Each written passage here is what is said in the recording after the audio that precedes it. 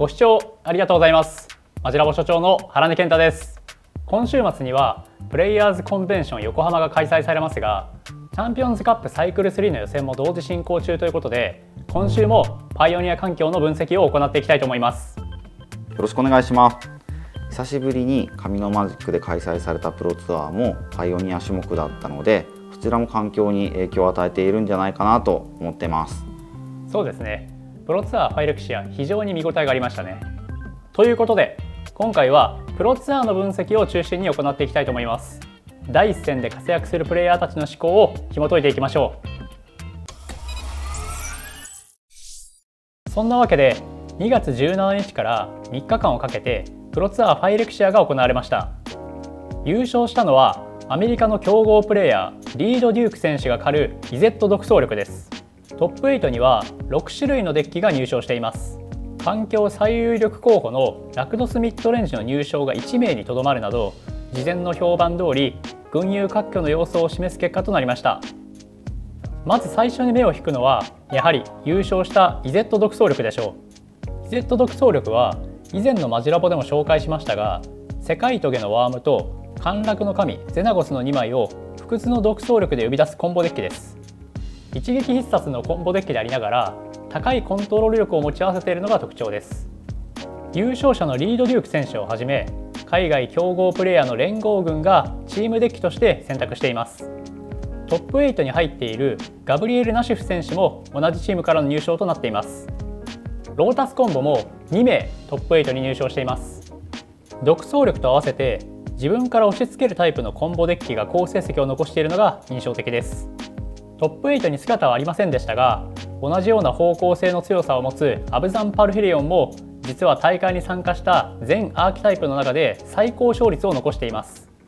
これは白タン人間や青タンスピリットのようなコンボデッキが苦手とするアーキタイプが環境上でポジションを低下させていたことが理由に考えられます。コンボデッキの成功がそれを裏付けていると言えます。そんな中白タン人間でトップ8を決めた日本人のプレイヤーもいました。プロツアーにおいて白タン人間はさほど高い勝率を残すことができなかったのですがトップ4に入賞した松浦選手は独自のチューンを施すことで他の白タン人間と差別化を図ることに成功しています。何よりも際立つのは精霊への挑戦不採用です。白タン人間の代表格とされていたカードを思い切って外すなど大胆なチューニングが施されています。またリハンダにスクレルブコツカといった発売されたばかりのファイレクシア完全なる統一のカードを積極的に採用しておりサイドボードには航路と前線の剣までも採用されています。新セット発売から間もないこのタイミングでこの完成度の高いリストを仕上げたのは凄まじいですね。同じく日本人のトップ8プレーヤーとして安岡選手の狩るラクドスミットレンジが入賞しています。ラクドスミットレンジはさまざまなチューンを許容する対応力の高いデッキですが3枚も採用されている変わり種は明確な特筆点と言えます。これはファイレクシア完全なる統一で黒割れの崖が追加されたことで強化されたマナベース基盤を利用したと考えられます。安岡さんはチャンピオンズカップサイクル1ファイナルでも変わり種を2枚採用する形をとっていましたがまさか今回さらに3枚に増えているとは驚きました。昔から安岡選手は独自性の高い調整を行う印象がありますね。今回の採用にも理由があってファストランドを入れる代わりに両面ランドである後輩踏みの小道が削減されています。両面ランドは一度置くと1色しか出なくなってしまうためその数が多いと無色の土地を入れるのはリスクが高かったんですがそれを削減することで代わり種の枚数を増やせた格好ですね。おそらく安岡選手はラクドスというデッキにおいて代わり台の枚数は増やすべきだとずっと考えていたんじゃないかなと思います。安岡さんのラクドスのプレイングを配信で見ていてマジックは20点のライフを削るゲームなんだと改めて認識させられました。ラクドスミッドレンジは対応力が高いがゆえにそれに寄せた構築やプレーをしてしまいがちな人も多いと思います。ベールのリディアナなんかはその象徴で採用が分かりやすいカードだと思います。安岡選手のリストではベールのリリアナでお互いのリソースを絞り合って場にあるミシェラランドで積極的に仕掛けていくといった戦い方をイメージしてると思います。守備的になりすぎると不利になるマッチアップもあったりするのでここを積極的に攻撃に転じることでそういった相性差みたいなものを解消できる可能性があるのがこのやり方の特徴だと思います。もしラクドスミットレンジを使っていてうまくいかないなと感じている人がいましたら参考にしてみてはいかがでしょうか？新セットの恩恵を受けたデッキとしてセレズニアオーラも入賞しています。白タン人間と同様リハンダにスクレルブが採用されておりデッキの核となるクリーチャーを守れることから非常に価値が高いです。ファストランドであるカミソリ鏡の茂みの追加もこのデッキにとっては影響が大きくマナベースが劇的に改善されました。セレズニアオーラには1マナのカードが大量に採用されていてさらに白も緑も1つのターンでふんだんに使っていきます。そうすると片方の色しか出ない土地はカードプレイに大きな影響を与えてしまうため死活問題となります。3種の2色土地に加えてマナの合流点まで採用している点からもこのことがいかに重要か分かってもらえると思います。トップ8入賞デッキ最後の一つは奇怪な具現デッキです。ちょうど前回のマジラボパイオニア界で紹介したデッキで非常にタイムリーでしたね。最近紹介したばかりのデッキなので細かな説明は省きますが環境最大勢力であるラクドスミッドレンジの強さは本物でした。準々決勝でも安岡選手のラクドスミッドレンジを圧倒しておりデッキのポテンシャルを遺憾なく発揮していましたね。さて今週のピックアップデッキはリュード・デューク選手を優勝に導いたイゼット独走力です。すでに不屈の独走力はマジラボでも紹介していますがプロツアーファイレクシアに持ち込まれたデッキリストがどんな調整が施されているのかを見ていきたいと思います。まず改めてデッキの動きをおさらいします。不屈の独創力は支払われたマナコストに応じてクリーチャーかアーティファクトを破壊する代わりにデッキからクリーチャーかアーティファクトをランダムに呼び出すカードです。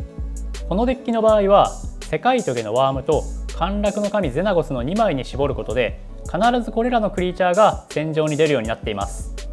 そして世界棘のワームと歓楽の神ゼナゴスを合わせることにより3030トランプル速攻というフィニッシャーを作り出すことで勝利します。独創力コンボは性質上デッキに入れるクリーチャーおよびアーティファクトは先ほどの2枚に絞る必要があります。そのためクリーチャーアーティファクト以外のカードタイプで元の対象となるカードを用意する必要があります。そこでキーになってくるのが鏡割りの寓話と大勝ちです。これらのカードは単一で2枚分の独走力の種を用意することができ最速5ターン目にはコンボの成立が可能になります。火力呪文や打ち消し呪文で対戦相手を妨害し隙を見てこれらをプレイ。5ターン目以降にフィニッシュの流れになります。手札に引いてしまった世界トゲのワームや陥落の神ゼナゴスは宝物トークンを絡めてプレイすることも不可能ではありませんが基本は火の予言やバラクートの覚醒でライブラリーに戻すことになります。これらのカードは指定のカードをライブラリーの下に戻すので再び引き直す心配もありません。このコンボは最終的に攻撃をする必要があるため対戦相手に除去をプレイされた場合妨害されてしまいます。しかしながら世界トゲのワームは死亡した際に55のトークンを3体生み出すという能力があるため単純な除去での妨害であれば問題になりません。除去する場合は独走力でトークンなどを対象に取った際スタックでこれらを対処してしまうやり方が効果的です。除去以外であれば追放やバウンスの場合世界トゲのワームに対処可能です。しかしながら独走力は仮にデッキに出すカードが2枚しか入っていない場合でも3つ以上の対象を取ることができます。